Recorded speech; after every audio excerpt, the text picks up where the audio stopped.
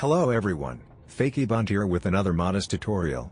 Today I will show you a technique the pros use in order to milk a boat's supplies. Step 1. Load into an open crew game in which the enemy has an active quest going so they won't insta-leave.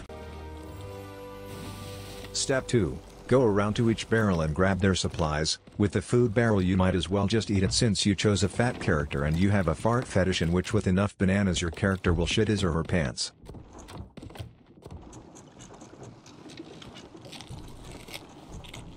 Ah yes, I can hear the stomach turning right now, fart moment incoming. Bruh, can this dipshit not drive, we were literally parked. Step 3, once you have full pockets of supplies, exit out of the game. You must hard exit otherwise this method won't work.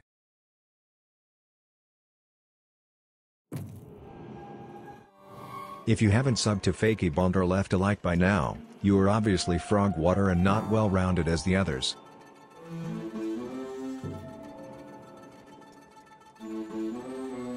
Step 4, rejoin the previous game. You will notice you need more supplies, so go ahead and go to each barrel and grab a pocket full. Step 5, Alt F4 again then rejoin the same game and keep going through the steps until the enemy's supplies have depleted.